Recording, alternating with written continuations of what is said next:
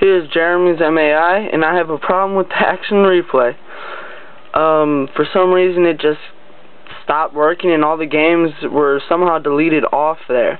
But when I hook up the to the computer and I try putting a codes list on there, it says action replay is too full. Let's check out what the problem is.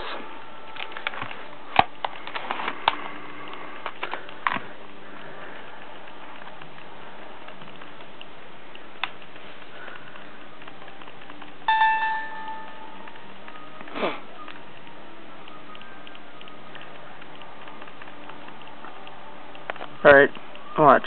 As you can see, there are no games in there. Alright.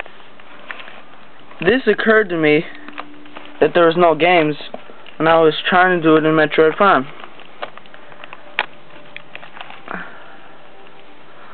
And it says unknown game. And then it gives you a code AMHE18D1857. Alright. So I'm going to insert the action replay again and manually put in a code for it.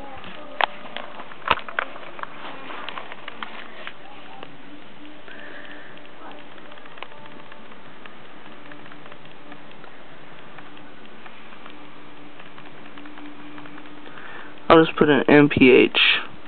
Don't know what it is. Alright, now when I enter the ID I have written down, a M H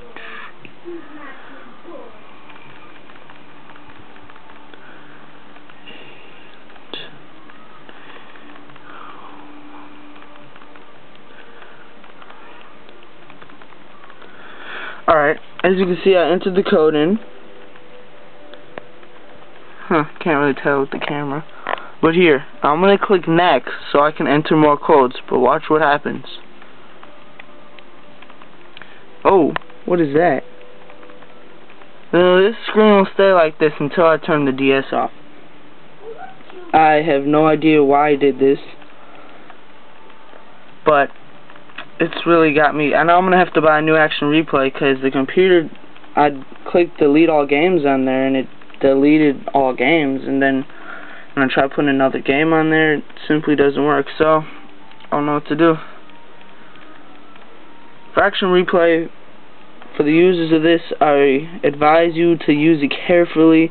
And for the people trying that want to get this action replay, it works perfect until you come up with this, obviously. Well, that was me, Jeremy's MAI. See you on YouTube.